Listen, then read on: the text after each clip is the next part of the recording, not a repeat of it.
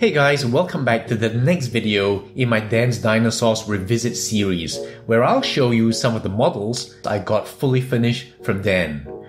Now last time we relooked at the Dan's Dinosaurs Lion Monarch T-Rex. Next up, we have Dan's Dinosaurs 1 to 30th scale Diabloceratops. I've always liked ceratopsians and I think they have a very pleasing bow plan.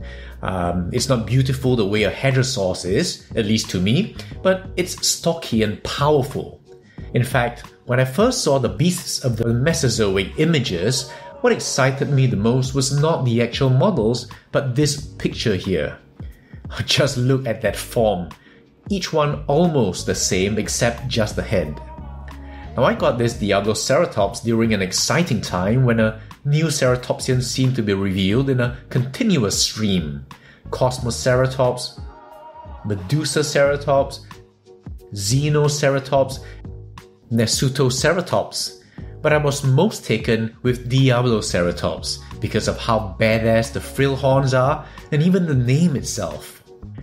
Now, I liked what Dan had on his website, but I wanted to emphasize the devil by adding red to the frill as well as the quills. And this was exciting because it was the first time I've ever customized a color scheme and corresponded with the studio at all stages of the process, with periodic photos to capture those stages, which I detailed in my original review. The sculptor this time is Sean Cooper, and the detail is impeccable, but you really can't divorce your admiration of it from the sterling paint job of Martin Garratt. The head is, of course, the main event, and more specifically, those horns. Now, these horns, right away looking at the paint application and this fade, I mean, from the tip to the bases, this was the first model I ever had with such quality that wasn't the size and price of a sideshow and the execution of the horny parts can be admired here in the beak as well.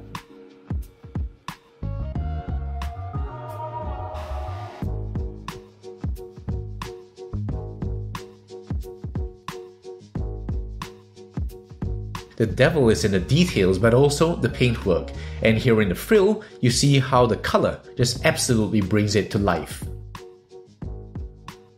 Just look at the blend of reds and browns.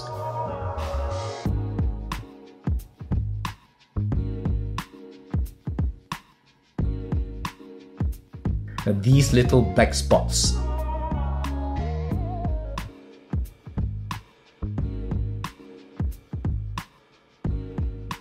It's a real conveyance of the idea of pigmentation and not just paint.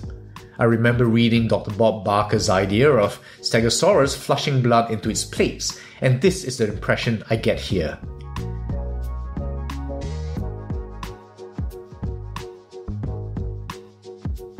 Very nicely framed by the black brown boundary of the frill.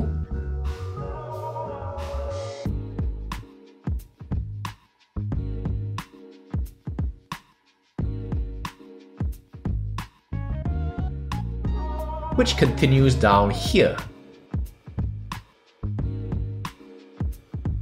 And behind the frill, you'll also see the texturing. On the sides are these individually shaped and painted epoxy which look really natural. Of course, you don't get the worries about bleeding and sloppiness even in small features like this.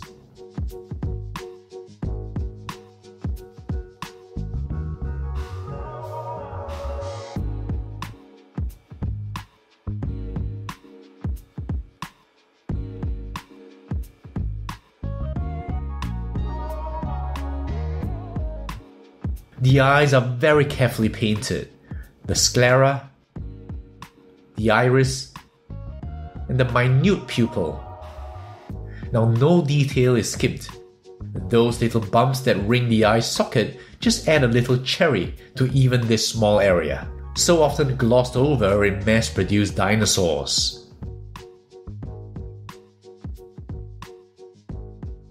Now, building up a color in multiple washes gives you a result far beyond what you'll ever get on a mass produced, mass painted figure. Now just look at these blotches or mottles on the back. Looking like pigment under the skin.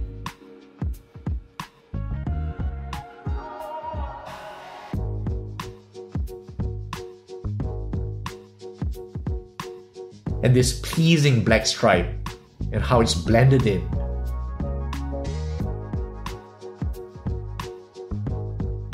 You know, all this just gives you a very organic feel that makes this an actual living animal.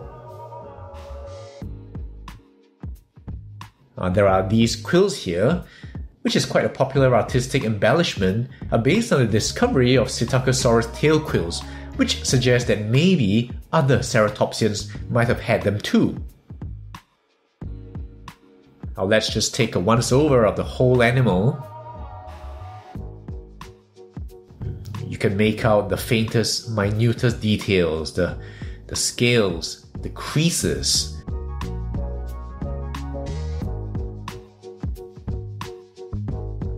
Just look at that paintwork. That again at this scale looks so appropriate and therefore real.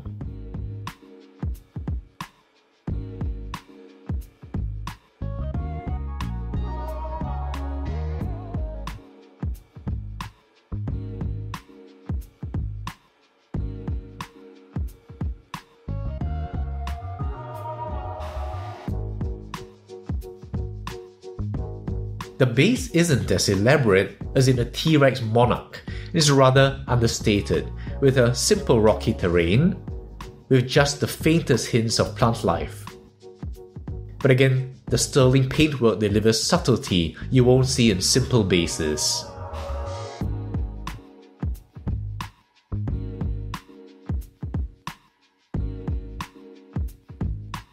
Three footprints help you place the Diabloceratops correctly, and when you put them together, here it is.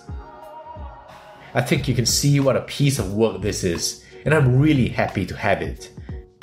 It's one of the gems in my Ceratopsian collection, and happily, unlike many of Dan's other models, this one is actually still available the last time I checked. Uh, I'll put the link to the model in my description below. Now, these tend to sell out, uh, as I learned painfully when procrastinating about whether to get Dan's Nasutoceratops. Uh, so go check it out. Now, this isn't a sponsored video, Dan didn't ask me to do this, but I really feel that work like this should be enjoyed by as many people as possible. So go check out what other models that Dan has to offer. The next Dan's dinosaurs line I'll revisit is the Ankylosaurus, so I'll see you there.